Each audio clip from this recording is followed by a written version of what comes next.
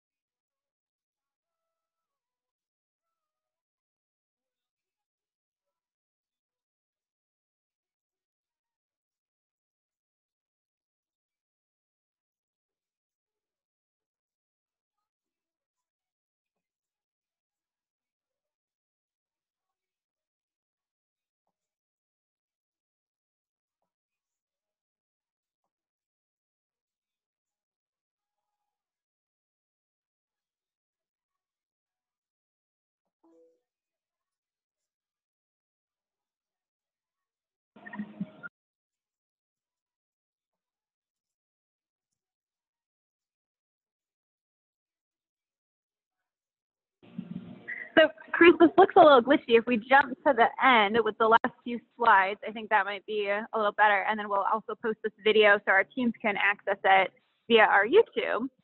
So just go to here. Yep, perfect. There we go. Yep.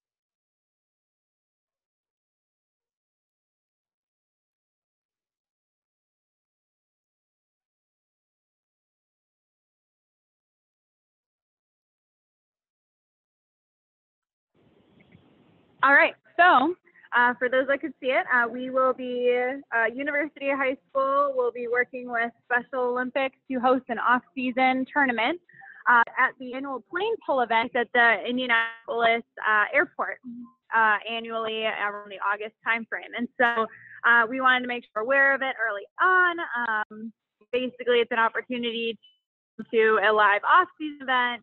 Uh, we'll have a you know full field there. It'll be like a competition. Um, and there may even be opportunities for us to partner with the Special Olympics or um, to partner with our athletes in order for them to maybe be a human player, depending on um, how complicated we find out that is in terms of the game and things like that, and related like safety pieces as well. Um, but kind of one of the visions we had was ideally the human player uh, position on a team would be able to allow um, different that come to the event partnered with one of their athletes, and then that athlete would work with the, the team, get a team T-shirt, um, and would essentially become part of you know the team as one of the players at the event. And so um, we're really excited. Um, you know, for this opportunity, like I said, university um, is the team that is hosting it and working with the Special Olympics to kind of figure it out. We're doing our standard, you know, off-season related support to it, Um, but we think it's a really exciting partnership opportunity um, as well, and think it's a great way for you know first to continue to make it loud in our state. So we wanted to make sure that you can have the video uh, with Special Olympics and put that all together when we're ready. So save the date, August 8th, tentatively right now, and we'd love for your teams to attend, and we think that uh, your students would really enjoy it.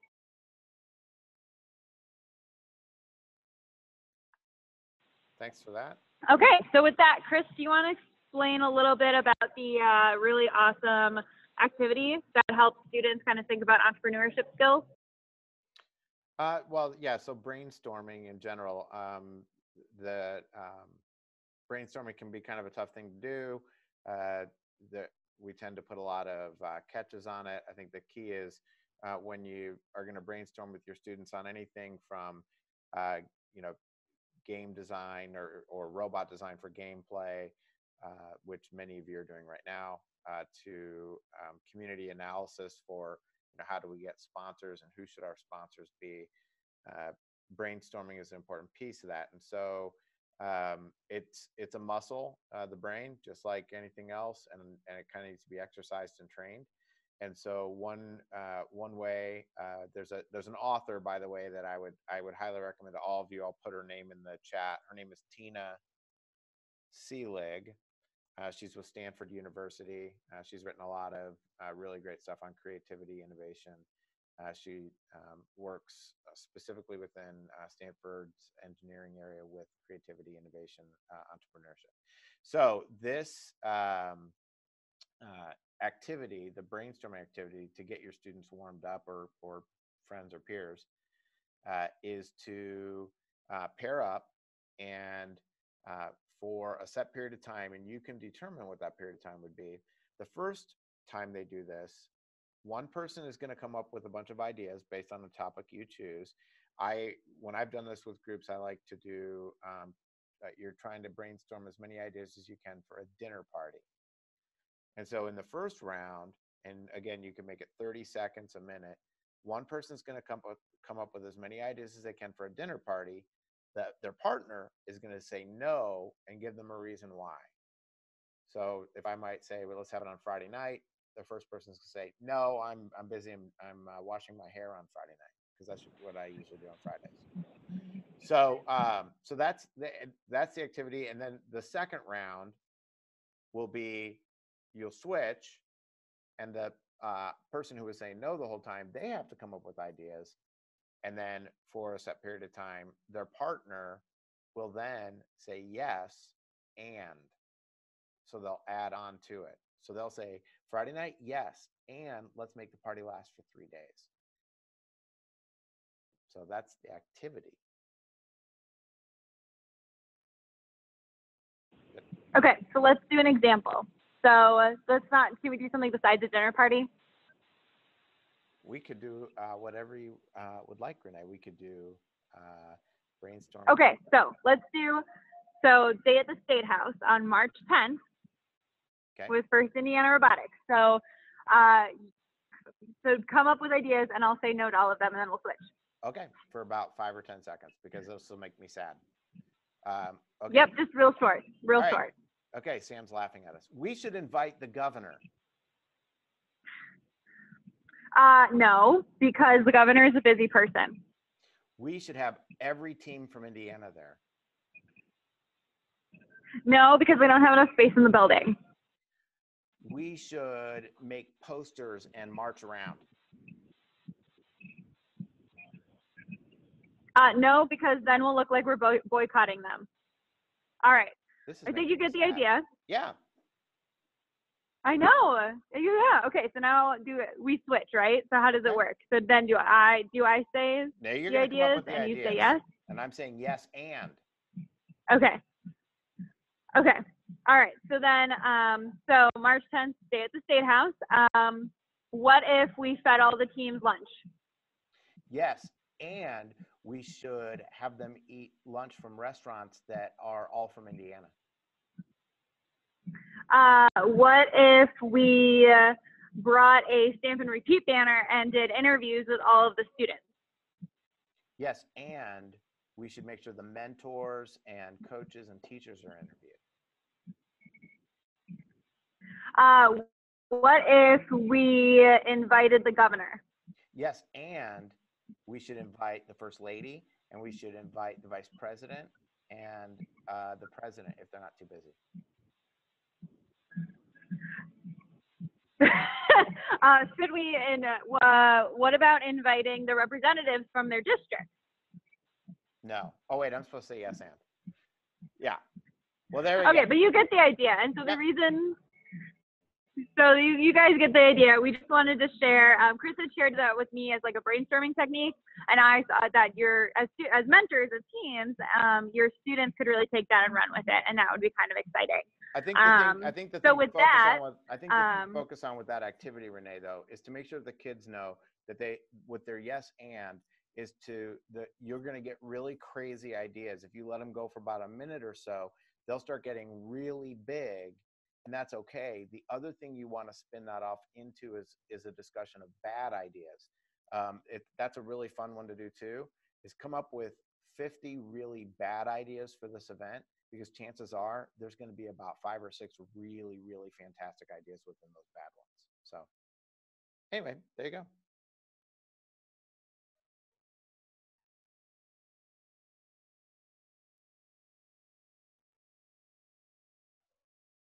I'm unmuted. Cool.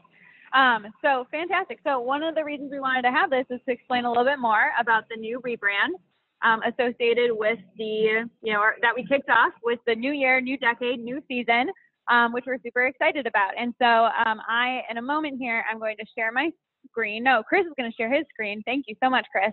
Um, and we just wanted to talk a little bit about what we had here. And so first, Chris, can we go to the homepage of the website to start off? Um, I think that that would be a good place to kind of like migrate. So, uh, you know, First Indiana Robotics, you know, essentially came about because we have become the program delivery partner for the First Lego League Junior, uh, the First Lego League Junior, the First Tech Challenge, uh, and the First Robotics Competition programs for our state. And so that is really exciting. Um, but it also means that we need to uh, break down some silos and we need to be, you know, essentially not just Indiana first, which is very first robotics competition centric, but make sure we are thinking a little bit more broadly in terms of um, engaging more programs and more community members into our first Indiana family. And so basically where we wanted to start um, with this rebrand, which will take place over the course of a year, so it's not going to be quick.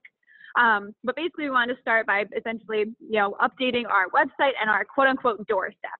And so you, you can see here, um, we have done a little bit of updating. We have our logo updated. Um, we now have a donate area on the website. We have a blog area again on the website. Um, but you kind of have this large hero image um, header that is scrolling with photos of our Indiana children. I know that was a big uh, request from our previous website is making sure we have our Indiana teams on our site. Um, and then the logos for each program are very large. And so this is kind of our first little area um, that we've updated on the website. We'll start updating the program pages over the summer, um, but we basically just wanted to make sure that we were, um, you know, getting this started and kind of starting with a new, fresh doorstep to get things kicked off for this new season, new decade. And so, Chris, if you scroll back up and go to the blog, one of the things that I did um, is, you know, we sent out a mentor email and a team email to uh, the mentor, you know, email update list. And where we started was essentially a thank you uh, to the uh, Indiana First community. And so, Chris, if you scroll down to the very first blog post that we have, um, it, it's basically an opportunity um, for us to say, you know, we are very proud of everything we did as um, and we are excited for where we are today. And we also, in the email we sent to mentors, invited everybody to uh, contribute to the history of the organization from an FRC point of view um, so that we could make sure that we are documenting and remembering all of the important achievements that we made. And so as we go, we just celebrate our fifth year of districts. We're moving into our sixth year of districts this season, uh, and we wanted to essentially reintroduce you to our organization, which is now First Indiana Robotics, a cross-program uh, entity that really cares about you know changing our future and helping our youth. Um, and so we'd love to again hear um, about your ideas in terms of what and how you want to shape the first Indiana robotics community. And so over the course of this next year and at our events, we will have listening opportunities for us to sit down and hear from our, you know, our community cross program um, to hear what you guys need and how you would like to build the community and how you want us to become, um, you know, a family that you don't mind seeing more than just over the holidays. So, um, so that's where kind of these blogs came in, is we wanted to reintroduce and re-explain some of these different pieces. And so we will have two history blog posts, one about FRC and one about um, FTC for us to post and include um, as like prequels, less like the Star Wars prequels, more like historical knowledge. Um, and so we will be including those on our website to make sure that we are capturing where we came from because that's important um, but also this is the time for us to embrace, embrace the change culture and take the next steps into how can we give children in Indiana access to robotics programs. And we have to change a little bit to make that happen. So after our thank you, uh, the second blog that we've created, Chris, if you can go to the next page, um, is the Introducing First Indiana Robotics. Chris, you're jumping ahead here. There we go. Um, and so when we introduced our organization, I just wanted to start with some of the basics, right? Um, and so uh, I am a big fan of Simon Sinek. In case you haven't figured that out by now, what you do, it's why you do it. Um, and so I, I have the pleasure as the president to reintroduce you the organization our mission and guiding principles. And so I explained, you know, why we're rebranding and going through all of this. And then I explained what our name was. And so it took some time to determine, you know, what our name should be, what our acronyms are. Um, but ultimately, after going through, uh, you know, the Secretary of State website and the DBA and working with some of our lawyers, it was determined that we should become First Indiana Robotics instead of First in Indiana um, because that was too close to some other names. Um, and then our abbreviation, because First Indiana Robotics is a really long name, is going to be FIN. So, you know, essentially shortened to, you know, First Indiana, First Indiana Robotics. Um, you know, uh, F-I-N-R is too close to what First in uh, New England looks like. And so um, I wanted to make sure that it was very clear that we were Fin. And also, you know, the term Fin allows us to, at the end of all of our events, we can put up a nice PowerPoint slide that says Fin, and then it's the end of the event. And so I thought that was rather clever, and I like it. And also um, with some of our other initiatives, the term Fin will kind of come into play with some of those other pieces as well. So um, if we scroll back down past the name and logo, and you go into you know how to stay in touch, uh, basically First Indiana Robotics is too long to use on its own and for social media. And so conveniently, um, some of our friends at Triangle Fraternity pointed out to us that our social media handles could be first in robotics. And I'm going to let you pause for a second and laugh because that's amazing um, and, and quite comedic. And so we will be using the hashtags first IN robotics um, for our social media, um, unless it's on like Facebook or LinkedIn where we're able to use the full name. But our hashtags, our Twitter, our Instagram, you know, that is where we're going, you know, first in robotics. And we're kind of hitting that brand pretty hard. Um, and so we we're really excited to do that. Now, with rebranding, first of all, I think everyone knows that I am very fiscally conservative because if I can give, you know, money to a robotics team to help them start up a program, you know I would do that before like spending money on fancy AV equipment. I'm sorry, Neil, this is just true. Um, and so, with that in mind, um, you know, it, it, has gotten to a point where a lot of our equipment and materials, you know, Chris and I have run out of business cards. Our signs need to be updated because they're just old and they don't look great. Um, and so, because we are getting to this point where it's time to rebrand, um, we need to kind of be prepared with this new logo to replace those items. And so um, we would love for you to help us rebrand over the course of this next year. And so if you see an old logo, please take a photo of it um, and then tag First in Robotics on social media with the hashtag INF throwback. Uh, and then share an inspiring story from your time in Indiana first, because I, as I'm a busy lady, Chris is busy. Um, we do not have time to go through every single one of our materials and like make sure our logos are updated. And so as you see it, we're inviting you as part of our first Indiana family and community to help us with that. And so at the end of the season, we can go back through the hashtag and go, oh, look at, you know, Sam found a logo, you know, on one of our signs that we really need to make sure to update. So thanks, Sam, for letting me pick on you. Um, so that's one of the pieces that we'll be working on as well. So then, uh, uh, if we go to the next blog post, you know, Chris, this is a really exciting one that I know you've wanted to keep, you know, going to. So now we're ready.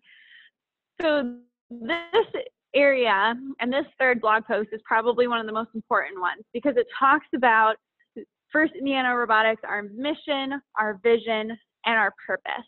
Um, and so, Chris, I'm going to have you skip over this purpose, um, you know, banner to start off, and I want to kind of go through each item step by step. And so, we all know the first organization, you know, was founded by Dean Kamen back in the oldie days. Um, but you know, the mission of First Indiana Robotics and the mission of First Headquarters should really be the same. Um, and so, you know, our mission is to inspire young people in Indiana to be science and technology leaders and innovators by engaging them in exciting mentor-based programs that build science, engineering, and technology skills that inspire innovation and that foster well-rounded life capabilities, including self-confidence, communication, and leadership. It's a great mission statement. There's no need for us to change it besides highlighting the fact that we are inspiring young people in Indiana. Um, in terms of the vision, like we all reference vision, which is to transform our culture by creating a world where science and technology are accepted and young people dream of becoming science and technology leaders. Um, so all of that is consistent and, and makes sense for us to incorporate as part of First Indiana Robotics. Now, the fun part comes in where we get to our purpose. So as I said earlier, I'm a big fan of Simon Sinek. Um, I'm actually really devastated because he is presenting in Chicago the Friday before the St event and I found out about it too late for me to buy tickets for our staff to go. So sad. Um, but I love Simon Sinek. And so he has this concept called the golden circle. Um, and so I highly recommend you and your students over lunch sometime over the build season should watch his TED talk on how great leaders inspire action because he introduces this idea of the golden circle and how inspired organizations and inspired people start with why instead of what. And there is science and data behind it. And they just turned on a vacuum cleaner. So if you hear a vacuum cleaner, that's what that is. Um, so if we keep scrolling, uh, that's why we started with why um, from this concept with First Indiana Robotics. So go down, Chris. So our why is that First Indiana Robotics believes our future is built better together and improving the world starts with our youth. And And so we stole this headquarters futures the letter together to also believe that our youth are the uh, people who hold the keys to improving our world. And so these two concepts were put together, and that's really how um, we have these different aspects of our why. And so we, we kind of highlighted it in the, you know, FRC blue, um, just to kind of emphasize the fact that this is why we do what we do, and this is why our organization exists because you know, improving the world starts with our youth, and we believe we can build a better future together. Um, and so we're going to do that. So then it comes to how, right? Um, so this is where we talk about how we actually do that because the students need the skills that the first program is giving to them. Um, so in order for them to change the world, we need to be teachers.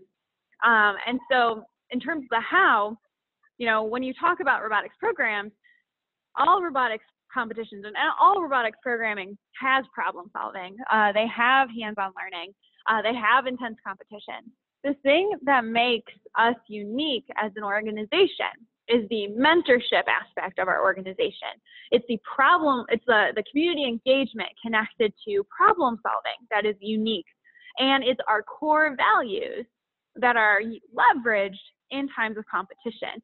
And so when you look at our how, you can see the, these key differentiators were included as part of our, you know, whole uh, purpose statement, right? So the idea that uh, the way we build our future is through mentorship, partnered with hands-on learning, problem solving, connected to community engagement, and core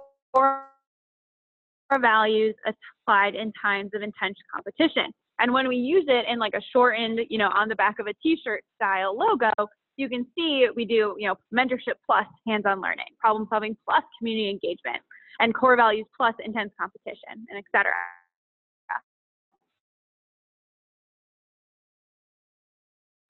Um, and so I have, we're building a better, a list of all of these items that you are absolutely able to read.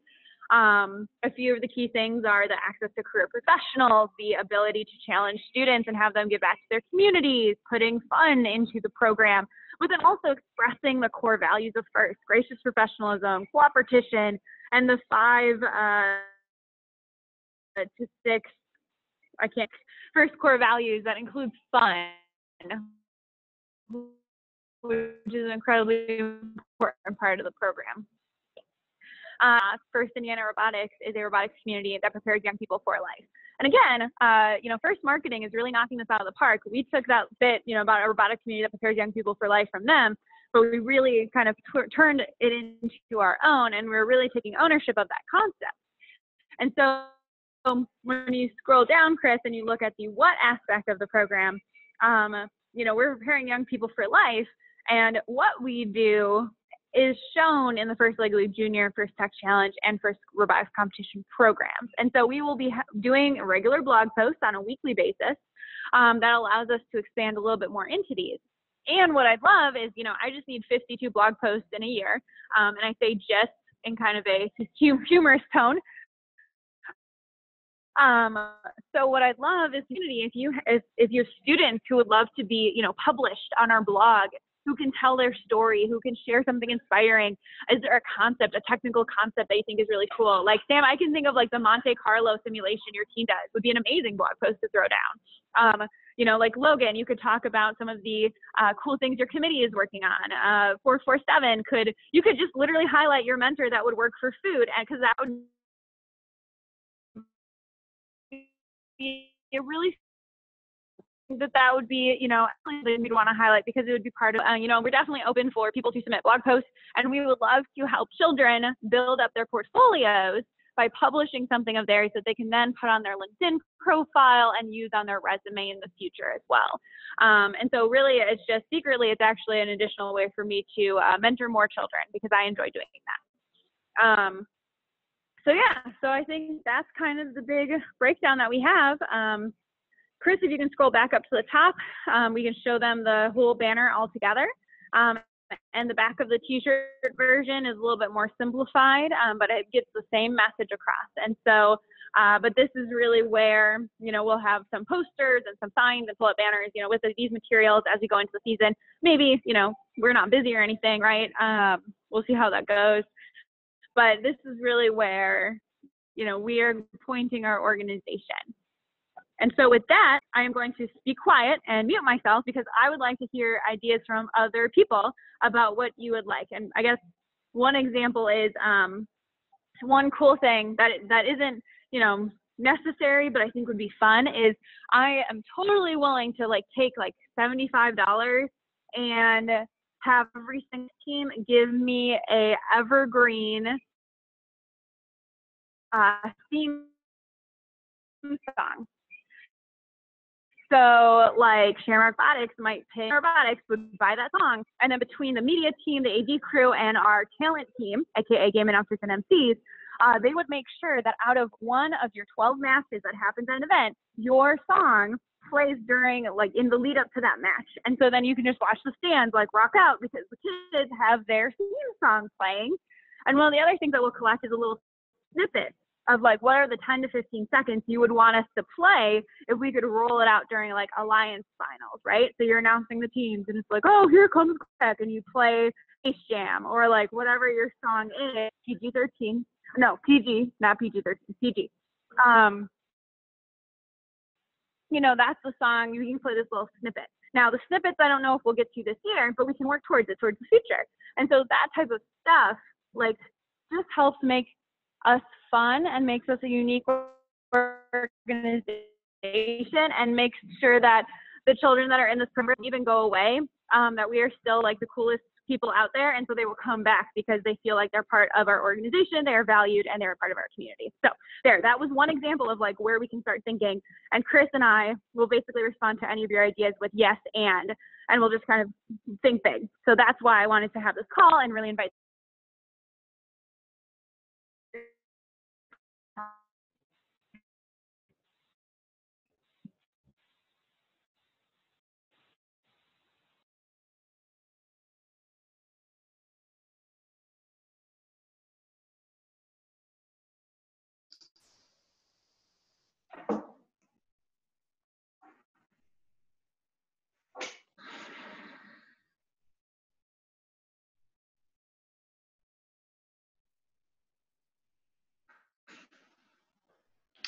Well, so I'll start. Grand ideas to bring to the table at a particular moment. I appreciate that it's done a you know a super job in what's clearly a difficult rebranding operation. Um, I'm excited about it. You've done a you know really nice job of together, and I can't wait to share that with the team. Awesome. Um, as a question, I guess so then if you don't have any ideas now, it's totally fine. But I would like you to ponder and kind of mull over it and bring it to the team and see what ideas they might have. Um, we will be making announcements about some of our initiatives. So I'll give you a sneak peek. Um, some of our initiatives will include uh, first in family. So it's kind of like hashtag first in family, F I R S T I N family. Um, and that involves uh, essentially in a SWOT analysis uh, that involves the fact that our key volunteers are between 6 and 35, or at least a lot of them are. Um, and so we're trying to become a more family-friendly organization so that you can, uh, you know, bring significant others and kids and grandparents, and there is like a place for nap time and like small children vision something and he they're you know they get an hour long break but then 30 minutes of that break they are doing a story time with like kids in grades you know fourth through um or not fourth grade but like you know kinder four years old to seven years old. And so we're reading books and like it's kind of like story time with like robots. And so it's this cool opportunity to engage with kids. Or maybe they're doing like hands-on stem activities. So that's the like family initiative um, then the other initiative is Women Are First in Robotics. Um, and so that's that's kind of updating our um, branding, which isn't really first official. So we are essentially making it a full that our brand stealing it from Texas because why reinvent the wheel um, is women are you know first in robotics, uh, really focusing on providing a community and making sure young women in our program see the city of first, you know, in the world and in the program, but also empowering the women who are our mentors and volunteers and making sure that, you know, if they want to have kids, like there is still opportunities for them to engage, or if they're busy in their career, there's still opportunities for them to engage in maybe different ways. Um, and then I think our third one is from first to your future. And so that one focuses on connecting first to college pathways and career pathways and doing a better job at building those connections. Um, and then we have a couple other like general ideas that relate to our strategic plan, but those don't quite have like catchy titles to them. Um, so those three are the catchy title ones that I feel like are, you know, almost ready to be rolled out, but will be ready to be rolled out and talked about during our events this year. Well, I really like that that focus on that women are first in robotics. I like that. And is so there's there are women are first in Texas. Is that a thing? Yes. Yeah. Very, very nice. Uh, yep. And so I just stole it, but it, it you know, because Indiana abbreviates to IN, uh, it gets real, real cute, real fast.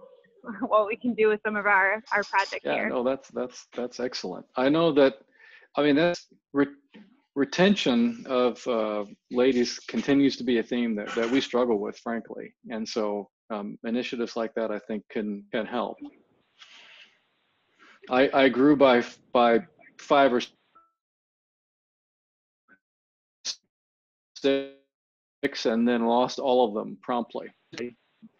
Oh, that's that's very empowering, Yeah, but yep. interesting.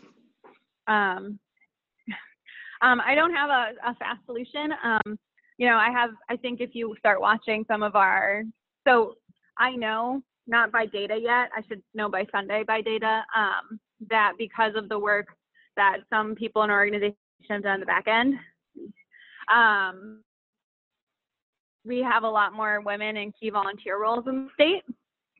But I don't know by what percentage that's increased, and I think that we could do even better. Um, I also know that you know there are a couple other things that we can do to you know build a community and to make girls feel welcome. And that's one of my big areas is how can we increase the percentage of female mentors and female students. And I, I don't have an answer yet, but I'm hoping that through this initiative we can start coming up with um, what are the barriers to entry and barriers of retention and start finding solutions um, that ensures that you know male advocates know how to support women and that you know women know how to vocalize their needs and like there's kind of this nice um, beautiful partnership that is inclusive um, but also supportive Yeah.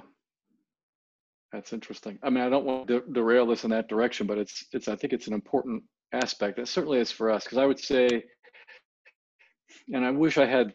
We don't collect data like this, but my my gut feeling is that women, young ladies who come to our multiple meetings and then don't come back, probably triple what it is for the males for us. I would say three to one. Yeah. Um, I also wonder, you know, and I know Cyber Blue dropped off the call here, but there is an interesting part that I have where I haven't been able to do this yet. So, Chris, honestly, this might be a cool project for you and Madison to work on. I'd like to get a list of every team that's attended Rage over the years, so like a list of all the schools, um, and then see if there has been, based on first database in the, um, you know, based on consent release forms, if there has been an increase in female percentages for the teams who have attended Rage on an annual basis over a certain number of years. Because that would be really interesting data for us to poke around at um, to kind of see if it's helping. So, um, and Tony, you know, I totally agree. As a uh, young individual who had executive leadership skills and a strong personality myself, um, I rarely had or noticed, um, you know, any issues around um, you know, vocalizing my viewpoints. But I know for a fact that uh, girls who were around me um, did not always feel the same way. And so, like, I, I completely see that as a, you know, there needs to be like a confidence building opportunity um, to make sure that uh, you are building up young women to feel comfortable. So, hey, we can see your video. Hi, Tony. You're still muted, just as an FYI. There we go. I mean, I run an engineering organization, so I've got, you know, I've got several women that work for me, but it takes a strong personality. It's there's a, usually in engineering, especially in this competitive world of robotics, that uh, the the boys tend to to push people, you know, really compete for those positions. And it takes a strong woman to. I, I haven't seen that as much in the girls as I do the older. I think the women who survive engineering schools tend to have already mastered that, that skill, so to speak. And it's it's har- harder. I I haven't yet figured out how to develop that in young girls. Sure. But, and what- what- I mean, here- honestly, here- Renee, I'd like to respond to that. The problem is Mhm. that that just demonstrates a lack of of our ability to influence our young men to understand that their organization will be stronger, powerful, and more creative and better balanced if um, they were part of that welcoming community. And so that it says something about how we operate in the shop, and I and I take it as a personal failure right now because I don't know how else to do it. That they show up and then they don't want to come back, and there's a reason for that. And it doesn't. It's not just them. It's it's in order to expand their their presence, we're going to have to change the environment. That's at least what I currently believe. So, um, I think that I would like to see if Erin Riley is available to chat about this topic at some point, um, because she is a strong um, female leader on Share Robotics and was a strong female leader on Southport. Um, she's you know an engineer. She is highly organized, essentially a lead mentor. She is a lead lead mentor of both of those teams, um, or was a lead mentor of both of those teams. And then um, I think that she has a really interesting viewpoint on how to build a balanced team and how to watch and how as a mentor you can watch for opportunities to engage young women or and it's not necessarily even just young women it's um, how do you engage students who aren't as confident in the shop or confident with their abilities there are certain things that you can do and you can watch for um, to encourage them and like bring them in um, but it's taken me her you know, our other mentors years to kind of figure out some of those tricks and those key things. Um, so, and I also think one of the other pieces is, you know, are you able to start younger? You know, are you able to start recruiting in first Lego League or first Lego League Junior even, and catching the girls before, you know, all those articles that say when you hit, you know, fourth grade, like if you haven't, if you don't like STEM, like that's that's when like things start changing, and if you can't catch them then, you know, you have a hard time later on. So. Yeah, yeah. But if, if you, if we can't organize such a call with Erin, um, Yeah. that's something that I would, that's a Zoom I would definitely sign up for and I would bring all my mentors to it. Okay. Um, yeah, I'm sure we can figure that out. I think, uh, Chris, if you want to maybe connect with her, Tuesdays and Thursdays probably generally work really well with her schedule, as an FYI. Okay. Okay. So, in terms of branding, do you guys have any other ideas about cool things that would make us, you know, that would make us exciting, a little bit more of a have a family vibe? Like, are there ways that we can celebrate things that we aren't currently celebrating? Um, we have that award function we can do. We can make it more exciting. I'll be doing that again. I think I have a volunteer recruited to help us with it. So, yeah.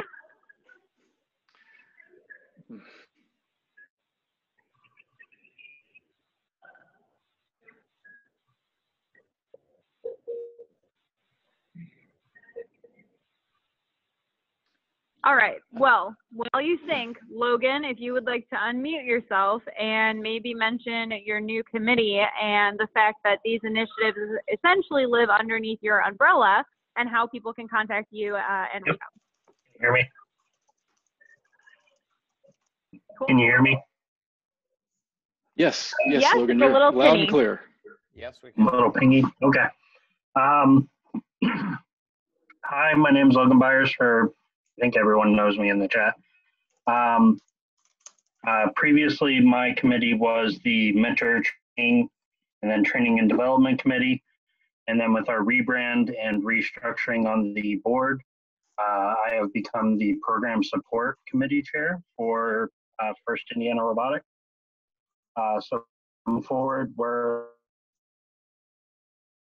going to be working not only on that training portions that my committees were already working on, uh, but we're also going to be bringing in um, how do we make uh, the First Indiana uh, program a more of a um, uh, structure from uh, regions. So we get uh, support each other. Excuse me. Um, and then also work on some of the other initiatives such as advocacy. Um, yeah. Um, you can contact me email lbyers at indianafirst.org. Um, yeah. Is there anything else that you wanted me to cover there, Renee?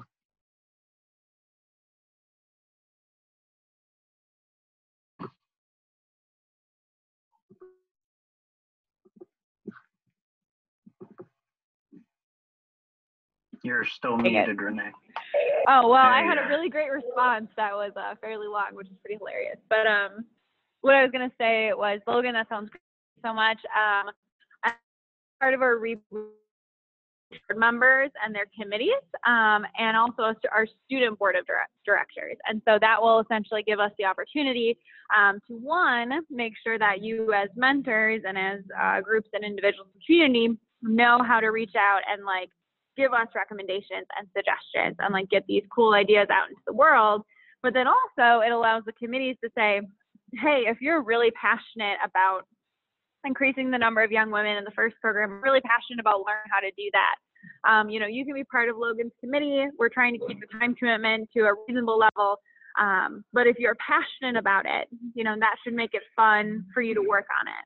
Um, and that's where we really want to start directing people is like, how can we take the passion that we know you have and, we know you do so much with your team and we don't want to ask you to do more that you would find um, not invigorating. But if you want to give more back, uh, there are opportunities for you to do that, and we can share what those are. And so um, we'll be working on introducing our board members, introducing our student board of directors members that you know where they are. You know, Sam, you're very familiar, obviously, with one of those students at this point, because you know Ivan is one on our student board of directors and he's on your team.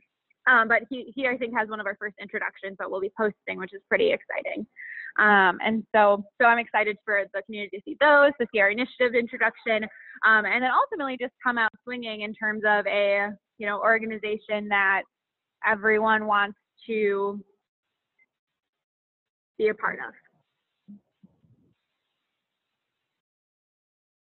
I, I like that idea of trying to do um, of doing student highlights, and I think that's cool. Um, would be also interesting to maybe do. Uh, we're we're getting long enough that you know we've been around long enough. We're starting to have some alumni getting out there. So Yeah. some sometime we ought to be uh, trying to to do some alumni highlights. You know, the, where are they now, kind of things. Yes, 100%.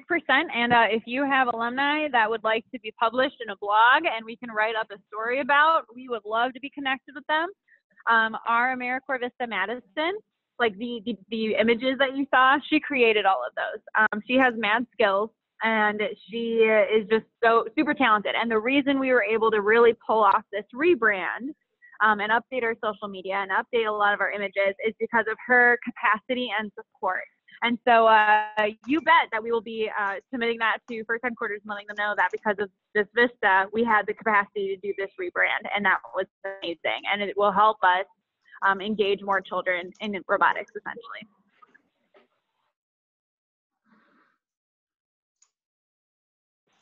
Okay, so I think with that, um, you know, we are available. You can always email info at indianafirst.org if you want to chat about something and you're not sure who to talk to. That actually goes to a couple people, and then Chris can essentially redirect you to the right person from there. Um, but I'm looking forward to seeing everybody um, and all of the cool designs and what your teams are up to throughout the season. Um, please pass along the message to your teams that we want to hear from them and they should be tweeting and updating us on what they're up to. And, um, you know, oh yeah, and this Thursday, we are, uh, the First Indiana Robotics is being honored at the State House with a resolution being presented by the State Representative Sue Errington. Um, from the Muncie area. And so uh, we will have the uh, Muncie FRC team. We will have the FTC team from the Red Alert area. We will have the FLL junior team from Perry Meridian.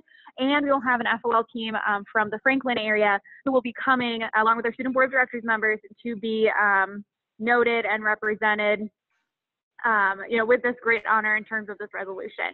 And so this is a brilliant way to tie into our March 10th um, uh, event at the Stay at the State House. Um, and so we are really excited about that and we would really love it. Um, Sam, I've already told Amy and your student from, I don't remember where, but he presented today that they needed to come to the State House on March 10th because of how articulate they have been with their sponsor presentations. Um, and so, you know, Tony, if you have any students that you think would be great to invite to come, who are well spoken and have great stories and you know please keep that event date in mind. We would love to have them. So it's tuesday march 10th first robotics day at the state house. Chris has a sign up form he's been including in the team emails. Um, but but this is this is the start of us really encouraging you know our, our region and our local legislators to pay attention to robotics and to really you know, help us get funding so that we can bring robotics to more kids. Okay, awesome. All right. So thanks everybody for your time. I really appreciate it. Uh, Chris, if you can close the recording and get this posted on our YouTube channel, that would be fantastic. Uh, we'll go from there. So thank you so much, everybody. Thanks, everybody. Thank you, Renee. Thanks for being here. We'll talk. Thank you, Chris.